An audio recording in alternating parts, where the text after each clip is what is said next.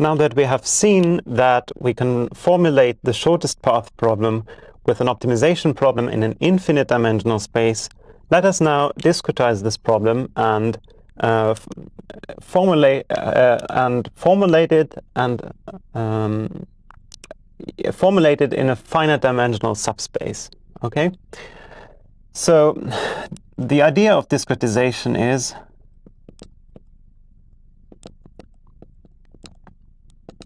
to restrict the space of the feasible gammas to a finite dimensional subspace. How do we do that? Um, the idea is to restrict yourself to um, only those gamma which are piecewise linear. And uh, to this end, choose some number n. Um, so this is a natural number, preferably, yeah, greater or equal than 1. That's enough. And um, restrict gamma to the space of piecewise linear paths with n support points.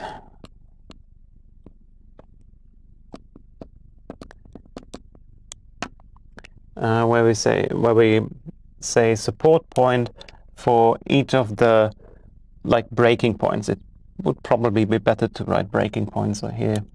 So the idea is that um, you have your points A and B. And now you're going to take only those paths which have this form. I don't know, like this. So here you, you see A is gamma of 0, B is gamma of 1, and then you have uh, these points here, gamma of 1 over n, gamma of 2 over n, and so on. At the end, gamma of n minus 1 over n, and this is gamma of n over n. Okay? So, um, the idea is that we, we choose uh, n plus 1 points from x0 to x capital N um, in Rn. Um, this is the small n. And um, and we set gamma of k over capital N. Um, we define this as xk. So for each uh, k between 0 and capital N. And then we do a linear interpolation um, between those two po those points. So we set gamma of t um, with t between k over n and k plus 1 over n um, as, let's see, um, so we want to have xk and this at this end, and we want to have um, so at this if if t is equal to k k over n, then this thing here, this this uh, this expression in the parentheses will disappear. So we have xk. That's what we want. And if we go further to x uh, to t equals k plus 1 over n, then, uh, then we want to be in xk plus 1. And what we need in between is that mm, this is not good. It's not good. So first of all, we need to subtract this point again. And then we want the factor in between this xk plus 1 minus xk to be 1 when, when t is equal to k plus 1 over n. So if t is equal, equal to k plus 1 over n, then we have k plus 1 over n minus k over n, which is 1 over n, so we have to multiply with an additional capital N here. And we see this expression is linear in k, so this is a linear interpolation between those two points xk and xk plus, uh, xk plus 1. And if you set t equals to k, k minus n, then the second um, summand disappears, and this will be k plus xk. If you set t equal to k plus 1 over n, then this whole thing will be 1, and this will be xk plus xk plus 1 minus xk, which is exactly what we want. Okay, so now uh, we have seen that we can choose x0 to x capital N, which will be the uh, variables of our new discretized optimization problem. And from this, we can, uh, from, from those points, we can define a piecewise linear curve. And uh, now instead of um, instead of optimizing over those curves, we will be optimizing over these uh, points. And one further step is required. Um, so we have seen um, how to replace this. We can we can even mark this maybe. Now uh, for for these piecewise linear curves, absolute continuity is automatic.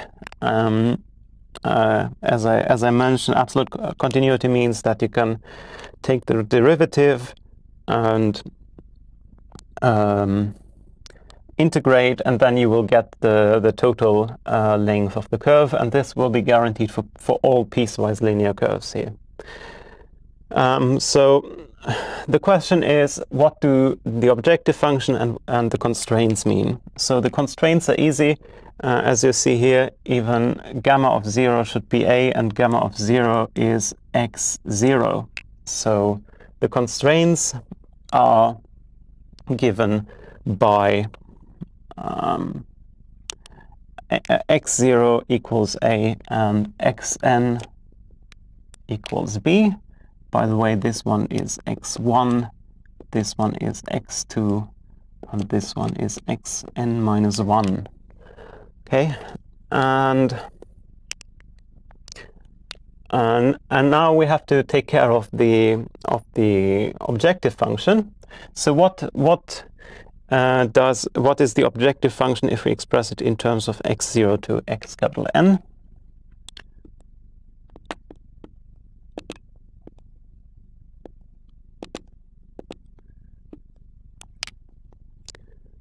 And um, okay, let's calculate this. So uh, integral 0 to 1 of gamma dot of t dt. Okay, so it seems very convenient since we have defined this in a piecewise, in a piecewise fashion that we just uh, split up this integral and from k equals 0 to capital N minus 1.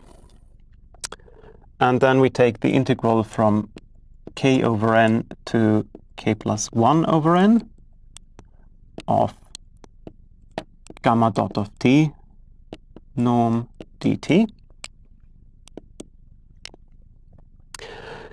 Okay, and this is equal to um, this integral. Uh, let's still let's still write it. Uh, what is the derivative of of gamma in in this interval? Well, uh, this is constant, so you can ignore it, and all the all this other stuff here is also constant. So you have uh, what uh, you, you end up with the the thing which what is which is uh, multiplied with t. Um, so it's capital N times xk plus 1 minus xk. And from of, of this you have to take the norm and the integral. Okay, and you see that uh, the this integrand does not depend on t, and therefore it's just the multiplication of the length of this interval with uh, with uh, what's in what what's inside. So the length of the in, the interval is one over n, and then you have n times the norm of xk plus one minus xk. Okay, and if you want to write this even easier, then it's this. You just sum up the distances between uh, consecutive points. So now we have uh, we have all the parts um, we have discussed uh, the constraints and we have discussed the objective function. So we have all the parts together uh, in order to reformulate this. So the reformulation, or it's it's it's actually actually an approximation. It's it goes like this: minimize the sum over uh, k of norm of xk plus 1 minus xk. Okay, such that, as we have discussed, x0 is equal to a, x capital N is equal to b, and over, now we have finitely many variables, so we have x0 to x capital N. Okay, so this is a finite dimensional problem. Um, now let's have a closer look. Uh, we have said that, that in, in, in, for the infinite dimensional problem that this norm here is not differentiable, and we have the same problem here. So whenever we have xk plus 1 equal to xk, um, then this uh, expression here is not differentiable, and so we might run into problems when we solve this naively with the gradient uh, solver or even worse with Newton, with the Newton method. And um, how many variables do we have? So we have here Okay, we of course we can replace uh, the constraint. We, we can replace the variables x0 by a and x capital N by b, but it doesn't really matter because that's the constant number of variables. So here we have n plus one variables, and since we are in Rn, and I should actually write this here.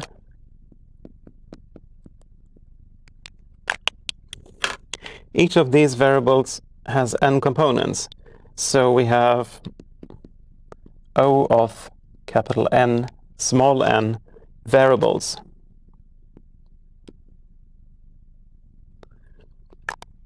And depending on how fine you discretize this, and of course this problem is not really worth discretizing, but there are other variational problems which you can discretize in a meaningful way. And the more and more variables you have, you the precise, uh, the more precise the uh, your solution might approximate, the more precisely your solution might approximate the infinite dimensional uh, problem. And then you want to choose a really high capital N. And whenever you have a large number, uh, uh large dimensional space, then this small n might be might become large. And so uh, for fine discretizations, this might actually become a large-scale problem. And this is everything I wanted to say about this shortest path problem, which is one problem which you can always keep in mind uh, when you're uh, when you're uh, reading this course and you're reading about um, this type of objective function, for example.